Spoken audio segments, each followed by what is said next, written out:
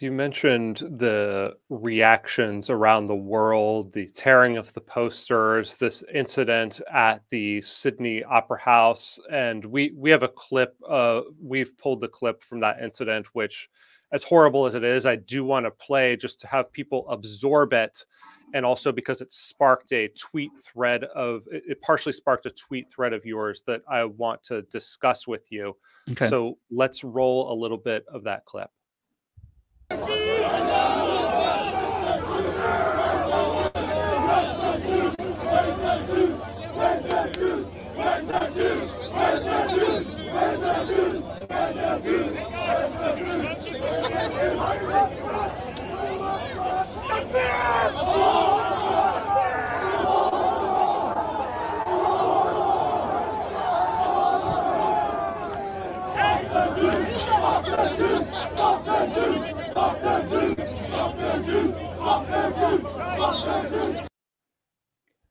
I mean, it, it is just shocking to see this happening in a place like Australia. And I am curious if seeing these kind of reactions in, you know, I don't know, English speaking countries uh, has changed your political views at all. You you posted this thread on October 25th saying that the the beginning of the thread, you write that the aftermath of October 7th is a test for the West and for all open societies, societies that nominally believe in freedom of speech and the press. Such societies are now at a crossroads and must, must think about the direction they wish to head. What do you do about this kind of Jew hatred? Um, I'll just pose that question back to you here. What do you think an open and free society should do in the face of the kind of hatred and vitriol we see on display in that clip? Well, I call that, I eventually wrote an essay on this. I called it The Dilemma of the West uh, because I don't think there's an easy answer to it. All my life, I've been a very uh, passionate advocate for freedom of speech, freedom of press.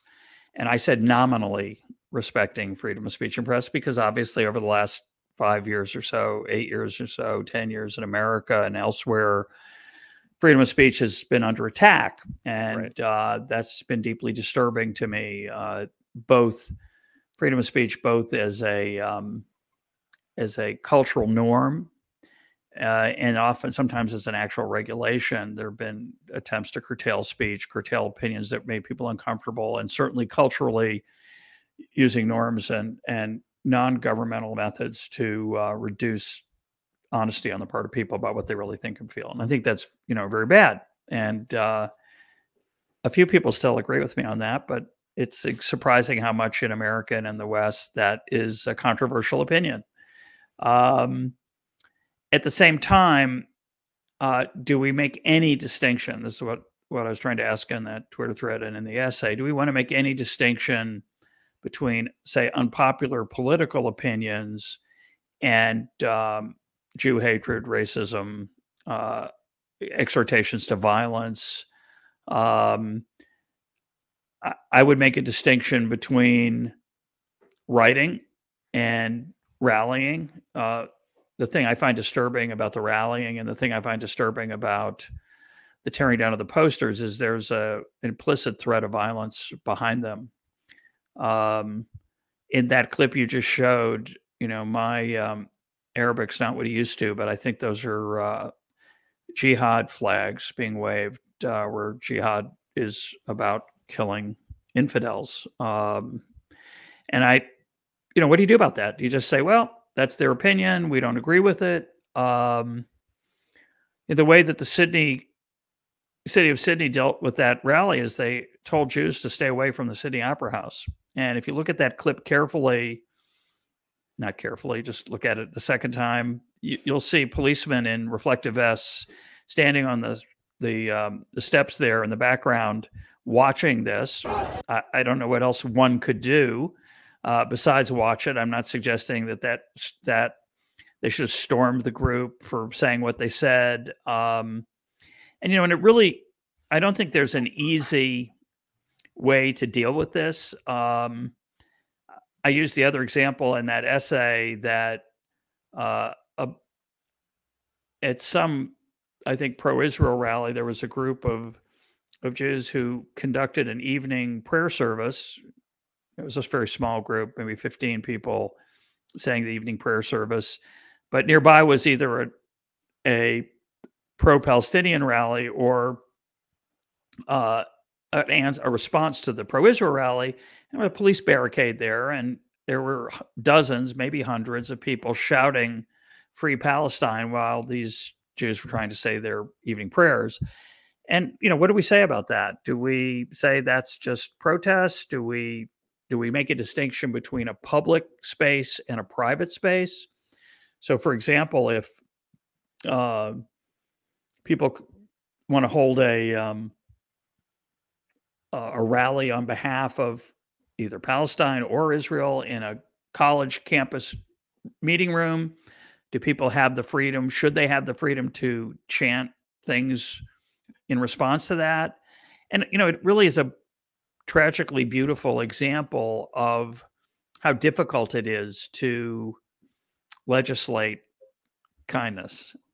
A lot yeah. of what underlies uh, the American culture of trust, of discourse, of searching for the truth, of mutual respect is inherently cultural. It's not legislated. You can't legislate it. And when it disappears, attempts to legislate it are not going to work. So I don't think there's a simple, attractive, magic answer to how do you deal with speech that is um, violent? Uh, how do you deal with a march that has violence around it? And just to leave, I'll finish with talking about the posters. Uh, what's depressed me watching it from a distance here in Israel is how many people, when they film the folks tearing down the posters, beg them to stop and beg them to explain themselves. Why are you doing this? They cry out. And that's the tone. It's it's it's a it's a begging instead of saying, uh, I don't approve of that, and to stand in their way. And uh, many of you watching this, I'm sure, saw the clip of the New York construction worker who's got in the face of someone tearing down the posters and said, This is America. You don't do that, and I'm not going to let you. And intimidated the guy very, very uh, uh, unattractively to to get him to stop. But what's the alternative? And the current alternative, which I don't particularly like, is of taking photos of these of these people and and identifying them and trying to get them fired. And you know, I, I don't think somebody should be fired for a moment of emotional response to a kidnapped child that maybe makes them uncomfortable for a thousand reasons. And but how do we handle that as a society? It's not an easy question. Yeah. So one thing I wanted to ask you about that is there's the cultural component, which you alluded to there at the end, with should there be social consequences for tearing down a uh, a poster of someone who's been abducted or yelling something horrible like "gas the Jews" at a protest? I would say certainly the latter. I would not want to employ someone who was in that video. Yeah. Uh, but then there's the question, the very just real, you know, p- political question of should this be allowed? Um, and is it, it is there something insufficient about just the the straightforward liberal or libertarian framework of you have to allow the bad speech, particularly in a, bu- in a public space, to take place, and you draw the line at actual violence, not really nasty words. You know, we tolerate, for sure. instance, famously here, the Westboro Baptist Church saying horrible things on public grounds outside of funerals. I mean, you can't imagine something much worse than that. And kind of the cultural response has been like these gangs of motorcycle these motorcycle gangs follow them around and like drown them out with the motorcycle so there's cultural yeah. response but they're they're protected in their speech is is there something that's not sufficient in that that framework for this particular problem in your opinion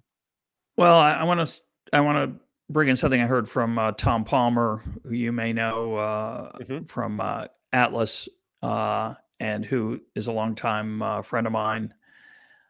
I don't remember when this was, it's decades ago. I got into an argument with Tom about freedom of speech. And I, you know, I said, I don't like that the Nazis marched in Skokie. For example, Skokie is a Jewish neighborhood, mm-hmm. uh, suburb of Chicago, and the Nazis marched through the streets of Skokie. And um, someone recently pointed out to me, yeah, there were about two dozen of them. If there'd been a hundred thousand, maybe you'd feel differently about that march. But I said at the time, they have a right to march. I I can never we can never know what where truth is in a democracy. The whole beauty of freedom of speech is to allow diverse viewpoints to be expressed peacefully. Uh, and Tom didn't agree with that. Tom felt very strongly, and I'm sure he still does, and I'm starting to think he's right, that freedom of speech should not be allowed by people for people who don't believe in freedom of speech. That is, if you are part of the Nazis or the communists, and I would put it Hamas in with this also, which is a a, a grotesque theocratic death cult. Um, it doesn't believe in freedom of speech. I'll just put a footnote here that story came out yesterday that that there were a bunch of photographers and journalists who went with Hamas on October 7th through the gap in the fence and chronicled and photographed the atrocities and that this was an ethical violation. And I'm thinking, do you really think there are any journalists in Gaza? Do you really native journalists? Do you really think there are people who live in Gaza who can report, who can tell the truth, who can say critical things about Hamas? Of course there aren't. Of course, everyone there will at least say that they support Hamas and will act accordingly. They do not hold by the journalistic standards that we like to think uh, other journalists hold by. And New York Times had a slight challenge on this. They had a, a, a journalist there that they used as a stringer who admires Hitler and had posted on on social media how great Hitler was. Oh. But the Times assured us that he really reported very objectively, as if you could possibly know. So the, these kind of insane um, situations where you're granting rights and freedoms to people who would be thrilled to either slit your throat or take those freedoms away from you seems a bit strange. And so Tom's view was if the goal of not any individual, because that's we don't can't measure it and it's hard to to assess and who knows, but organizations that have as their charter the the, the revolutionary desire to take away freedoms from other people should not be given those freedoms. And although it's hard for me to say that, to agree with Tom, I, I think he's probably right. So any one protester might let them say their say from the river to the sea, even though that means killing me and my friends here uh, and and ending the Jewish state. Um, I I would probably let them say that or or put it in a say it in a classroom. But an organization that wants that believes in that or that believes in in in gassing Jews or murdering Jews or any other group should probably not be given the same rights to express themselves as other groups. Uh, maybe they shouldn't I, be given know, a, a, I, a, permit to walk on the streets of Skokie. I'm in I'm in Florida, and the governor here has just uh, attempted to ban student groups that are supportive of Palestine on the pretense that they ha- say that they're in alignment with uh, what happened in Gaza, and therefore he's saying they're providing material support to them. Um, I honestly, you know, even though I find that repugnant, I find it. I also find it disturbing as a gubernatorial action to, and, and like a very clear example of how once you start saying, well, they are somehow affiliated with a group that is murderous, that they themselves don't have a right to express all these other views on a campus. So th- that is the the heart of my concern with what you're saying, even though I, I acknowledge it's a very no, but I, problem. I agree with you. I, yeah. I do not think. Let me let me be clear about a couple things. Um, Israel makes lots of mistakes does some horrific things. I'm not proud of them. I'm ashamed of them. Don't want them to continue. Um, uh, we could debate what those might be. I do not think um, the current ground offensive in Gaza is anything to be ashamed of. I think it's morally appropriate. And although tragically, I'm sure thousands perhaps of civilians have died in Gaza, which is horrible and I'm and a tragedy. Israel gave them weeks to, to leave and, and Hamas at the point of a gun wouldn't let many of them leave. So I hold Hamas responsible for that. Having said that, Israel's done plenty of horrific things to Palestinians in Gaza, Palestinians in the West Bank, and it's perfectly legitimate to be opposed to Israeli policies. It's perfectly legitimate to support a Palestinian state. It's perfectly legitimate to fight for the rights of Palestinians, say to water rights, or to fight for their ability to get better police protection, or you fill in the blank. There are plenty of things that you can be pro Palestine about without being anti Jew. Uh, but if you're anti Jew, mm, it seems to be crossing the line. So groups that are pro Palestinian should be allowed on college campuses and elsewhere, in my view, uh, as long as it doesn't shade into the celebration of murdering people, which seems like crossing a line. Now, they would disagree, by the way. And to be fair to them, you know, at, at these pro Palestine rallies in, say, London, where 100,000 people marched, many of them chanting from the river to the sea or free Palestine, which does not mean um, rights for Palestinians. It means the land that Israel's on now should belong to um, the Palestinians and not to the, to the Jewish state. Uh, they also say things like by any means necessary. And of course, they're an underdog and they don't have a good military. And of course, they're blockaded from getting military weapons, not perfectly successfully. But so perhaps you can make the case that they have to use means that others would not stomach. I guess for me, it's mainly the enjoying of it that's so disturbing. Hey, thanks for watching that clip from our conversation with Russ Roberts about life in Israel in the aftermath of the October 7th terrorist attacks. You can watch another clip from that conversation over here or the full conversation right over here.